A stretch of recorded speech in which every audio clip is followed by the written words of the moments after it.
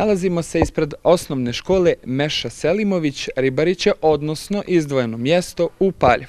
E, osnovna škola koja je e, sredstvima mještana e, sela Paljeva negdje sagrađena svjedoče nakon drugog svjetskog rata. 1994. godine je renovirana i za tadašnje uslove bila je u redu. Međutim,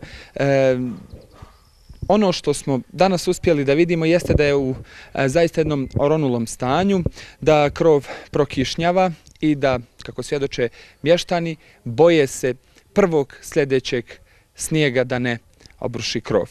E, mještani ovog tutinskog sela e, iz Paljeva, ali i oni koji žive i dugo godina već rade u dijaspori, organizirali su se i za samo dva mjeseca ukrovili novi objekat koji nadaju se uz eh, sve eh, vremenske prilike koje će ih poslužiti, će biti svečano i otvoren 1. septembra.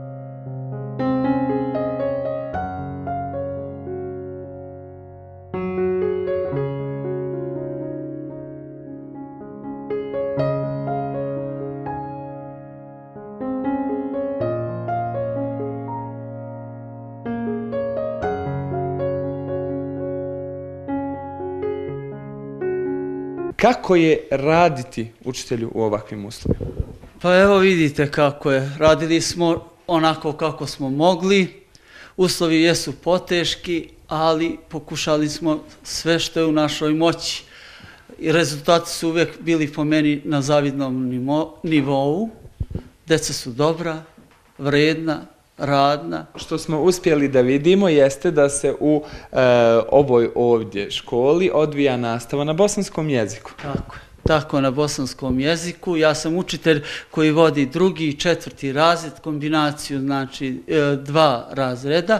Ukupno ima 11 učenika, 8 u drugom i tri učenika u četvrtom razredu. Kolega ima prvi, treći. Najviše mogu da pohvalim braću Hasanović. Oni su e, i glavni organizatori cele ove naše akcije. Normalno da smo svi dali svoj doprinos. Neko više, neko manje, ali uglavnom oni su glavni i, i bili za ovu akciju. I hvala Allahu, i prilično smo i uspeli za kratko vrijeme, nepuna dva mjeseca.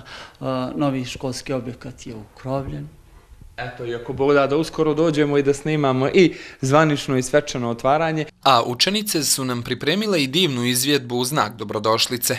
Svaki hajr je sa Ahmedom, pravi ašik uvek znade, on je naše šerbe s medom, hvala rabu što ga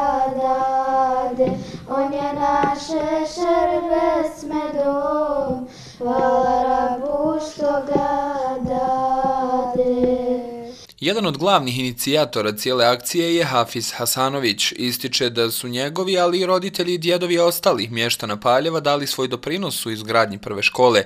Oni će, dodaje Hasanović, nastaviti njihovim stopama. Vidjeli ste i sami, ta škola bila došla do oronjavanja, do propadanja, do, do svega toga. Ja nisam mogao više, mada s obzirom da, da moraju svi da shvate, moja deca su vani. Ja sam ostaro, meni ta škola, ako neko shvata da je meni trebala, nije mi trebala.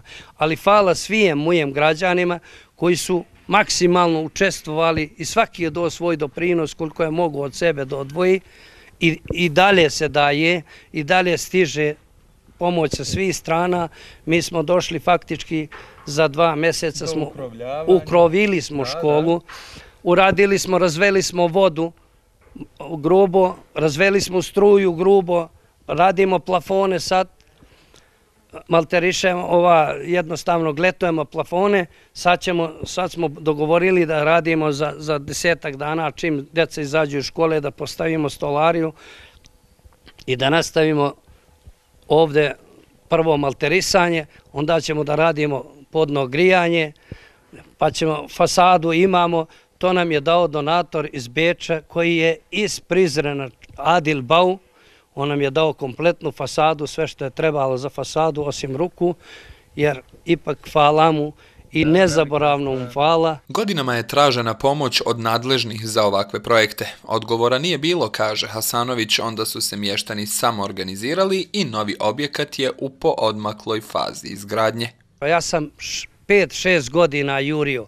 I Ribariće, i Pazar, i e, onu stranku, i onu stranku, da ne pominjem, i sad više nisu u pitanju stranke, sad su samo moji građani, dobrovoljci i dobrodavaoci koji osjećaju potrebu i osjećaju srčanost, ime veru u Allaha da se ova deca koja su ovde, koja rastu i koja ostaju za nas, mi polako odlazimo, ali ona ostaju ovde, da imaju neku bolju budućnost. Ja s obzirom da su ovo radili i za mene moji dedovi, moji očevi, koji su sakupljali kamen po kamen, drvo po drvo, dok su napravili ovu školu da postoji u, selo, u dva sela ovde. Mi smo u, pravu na, na centru Donjeg i Gornjeg Paljeva, na samom centru.